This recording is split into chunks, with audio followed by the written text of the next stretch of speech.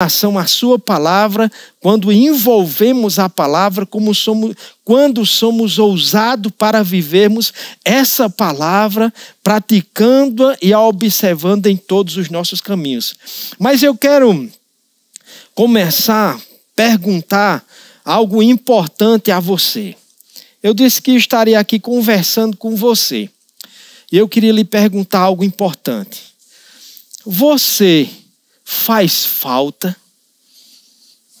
Eita, medite um pouco nisso. Você faz falta? Quando você se ausenta, você faz falta. As pessoas que vivem ao seu redor sentem falta de você. Elas sente saudade de você.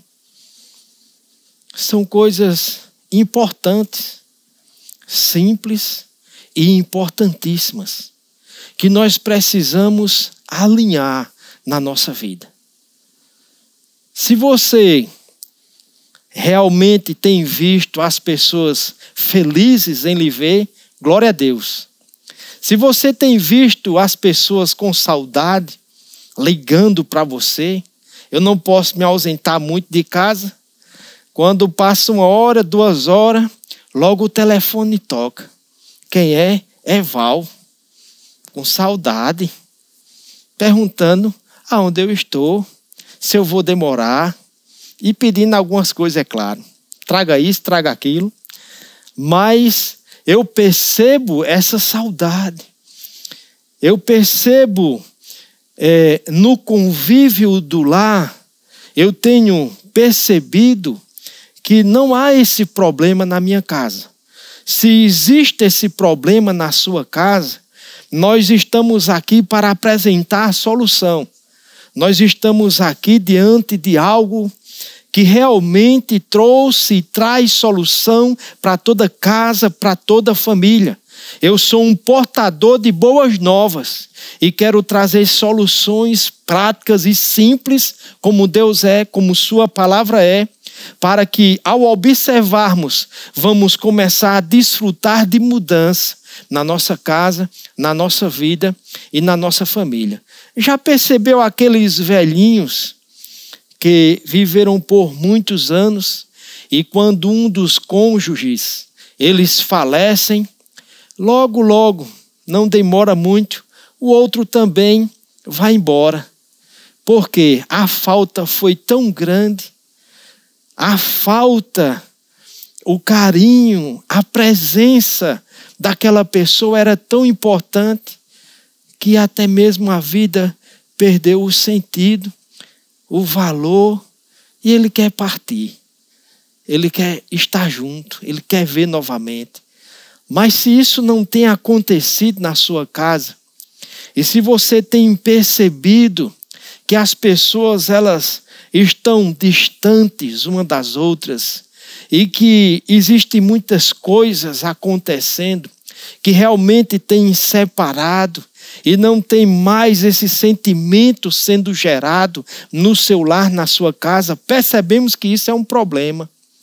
Entendemos que isso é um problema e que isso é um sofrimento, que ninguém quer viver assim, porque todo mundo gosta de ser amado, todo mundo gosta de receber atenção.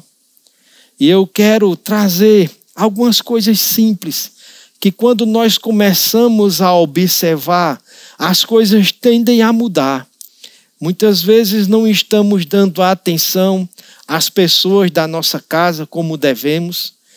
Passamos muito tempo ocupados com tantos afazeres, ocupados em tantas coisas, amamos tantas coisas que realmente nos isola e isso vai gerar um problema. Consequentemente, um problema vai ser gerado na casa. E nós precisamos entender que esta não é a vontade de Deus. Deus não quer certamente que carreguemos esse fardo na nossa vida, mas que tenhamos o prazer de ver pessoas se interessando por nossa presença, amando a nossa presença e se alegrando com a nossa presença, sentindo saudades da nossa presença. E às vezes as palavras, elas são ásperas, também vão separar, vão dividir, e nós precisamos começar a corrigir aquilo que sai da nossa boca. O tom da voz, ele precisa realmente ser revisto e corrigido, para que a gente não veja a família se espalhando, mas ela comece a se juntar. E todo mundo gosta de uma palavra boa, de uma palavra graciosa. A Bíblia diz aqui no livro de Provérbios, no capítulo 22, no versículo 11, que a palavra, ou que aquele que é grácil no falar, ele terá por amigo o rei. Então, aquilo que eu falo, ou como eu falo com as pessoas é muito importante. Eu não posso querer ser amado sendo áspero todo o tempo. Então, são coisas que eu preciso observar para que haja realmente aquilo que eu espero, aquilo que realmente eu desejo, ou que haja uma mudança. A atenção que eu devo dar às pessoas ela deve ser algo muito particular, muito presente na nossa vida. Pessoas que não dão atenção a outro no lar, nós sabemos o problema já que as redes sociais estão causando na família, a separação que isso tem feito chegar nos lares, o dano que isso tem causado nas famílias, e nós, como cristãos, praticantes da palavra de Deus, que temos como entendimento a vontade de Deus no nosso coração, não podemos permitir isso. Nós podemos fazer a diferença. E num momento como esse de pandemia, nós podemos aproveitar para criarmos o hábito de juntar a família, de sentar na mesa, como Tadeu e Rita ensina muito nos SCCs, como a gente tem instrução da palavra, de poder cultuar, eu tenho orientado a igreja Verbo da Vida em Lagoa Seca, os membros da igreja, com relação a isso. Nas terças-feiras, nós não estamos tendo é, o nosso culto online. Nas quintas-feiras e nos domingos, sim. Nós estamos transmitindo uma palavra, alimentando a vida espiritual dos irmãos. Na terça-feira, eu tenho aconselhado os irmãos, mesmo aqueles que não tinham costume ou não sabem como fazer, eu tenho orientado eles a juntar a família a ler o livro de Provérbios, a ler um capítulo. Pastor, eu não sei como fazer. Lê um, lê um, um livro, lê um, um, capítulo do livro de Provérbios, o livro do dia, o capítulo do dia, melhor dizendo. Né? Faz uma oração simples, pega na mão, fica junto. Isso eu tenho me estimulado porque entendemos o valor que isso tem. Aquilo que vai ser agregado aquilo que vai ser, é, que vai chegar na família, que vai banhar a família, principalmente porque estamos nos envolvendo com a palavra de Deus. E esse contato, ele é muito importante. As pessoas deixaram o contato e elas acabam se isolando, e pela palavra nós sabemos que existe um mal nisso, um mal muito grande. Provérbios 18, versículo 1, diz que aquele que se isola, ele insurge-se ou ele vai contra a verdadeira sabedoria. Então, isto não é sabedoria. Deus quer que andemos em sabedoria. A sabedoria ela vai fazer com que essa prática, ao observarmos essa palavra, nós vamos estar andando em sabedoria e vamos estar trazendo os benefícios dessa sabedoria para a nossa vida. Eu queria lhe fazer outra pergunta importante. Com relação ao seu cônjuge, você tem você tem cuidado Você tem se você tem atenção, eu ia dizer preocupação com a alegria do seu cônjuge, dela ou dele? Você tem interesse, melhor falando, de que o seu cônjuge seja feliz? Você já ousou perguntar isso a ele ou a ela? Eu tenho, irmãos, muito cuidado com relação a isso. Eu não quero carregar um casamento, eu não quero trazer peso nem para a minha vida, nem para a vida da minha amada. Eu quero que ela seja feliz. Eu tenho interesse que ela seja feliz. Que a nossa família seja feliz. Então existem coisas que trazem tristeza, dano. E muitas vezes as pessoas não querem nem tocar no assunto, porque quando se toca em algo que você está fazendo, que está aborrecendo o outro, logo existe uma irritação e se evita até tocar no assunto. Não queremos nem tocar no assunto para não criar uma irritação no outro, uma briga, e se evita conversar.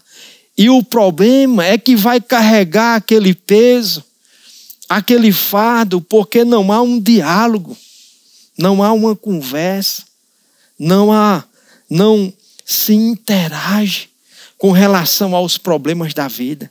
E como pastor, diante de tantos casamentos que fizemos, nós temos aconselhado os casais a dialogar, a conversar, a perguntar o que realmente é preciso ser feito o que realmente aborrece o outro, você já teve essa ousadia de perguntar o que eu faço que te aborrece, o que eu posso mudar para melhorar o nosso relacionamento.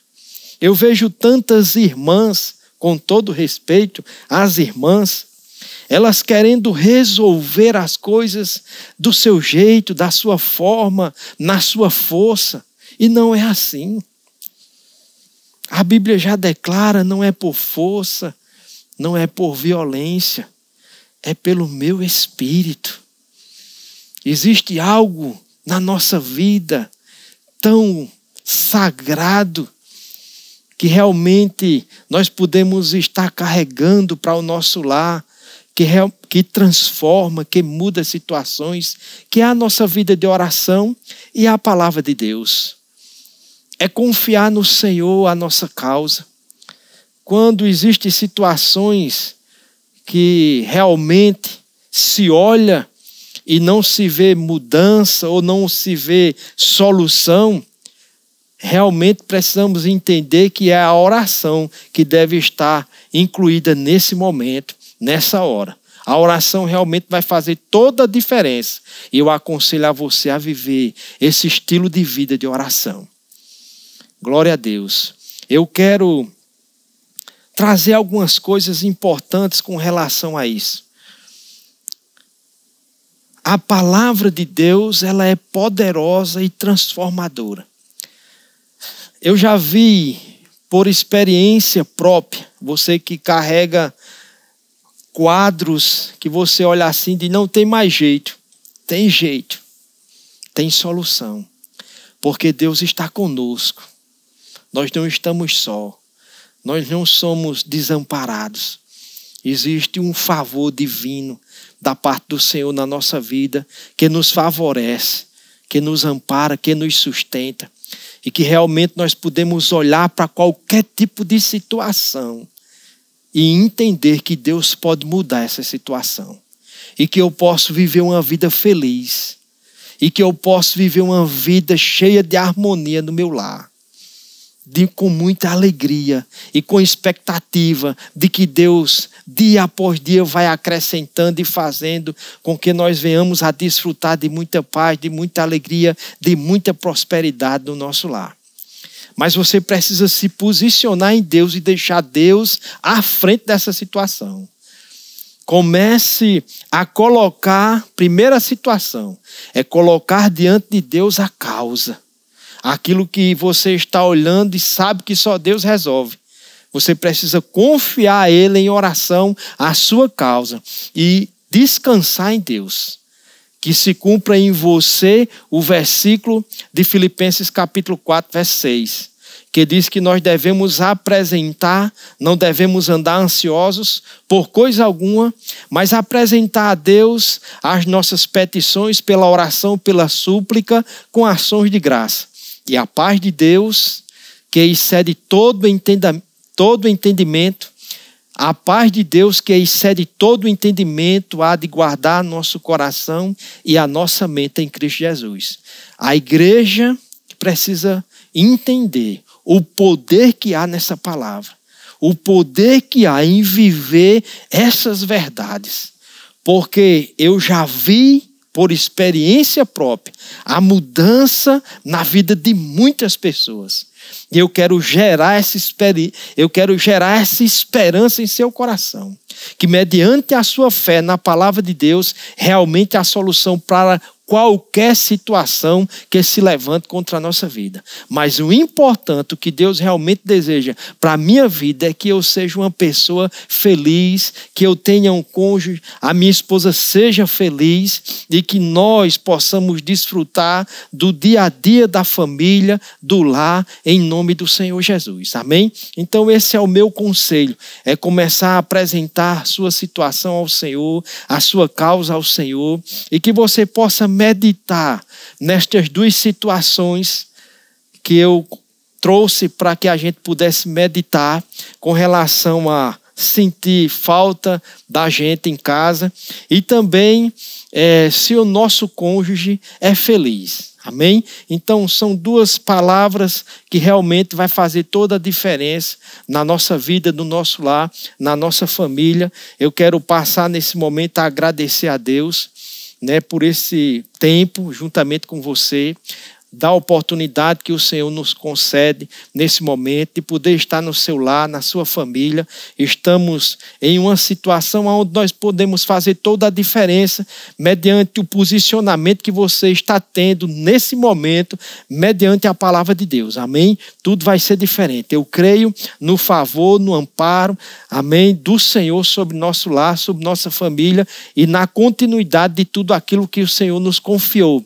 Né? Conto com a sua presença no Resgatando Família. Conto com você também nos SCCs, que nós vamos dar continuidade assim que chegar a oportunidade novamente. E eu acredito que vai ser de uma forma bem diferente, aonde a igreja vai se apegar com mais firmeza àquilo que o Senhor tem nos confiado. Amém? Então, o meu muito obrigado ao pastor Tadeu, ao Ministério Verbo da Vida, né, ao povo de Lagoa Seca por me dar a oportunidade de poder estar banhando a sua vida com a palavra de Deus.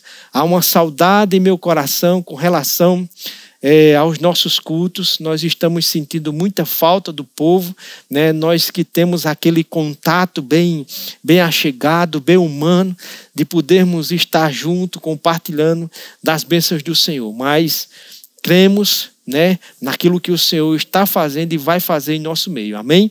Que Deus continue lhe abençoando, guardando sua vida em nome do Senhor Jesus. Eu quero declarar a graça de Deus, a paz de nosso Senhor Jesus Cristo e a consolação do Espírito Santo na tua casa, na tua vida, na tua família, em nome do Senhor Jesus. Que Deus lhe abençoe. Fique na paz do Senhor e meu muito obrigado.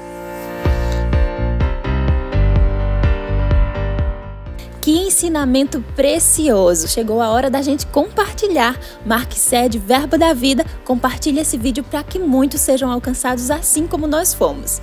Até logo!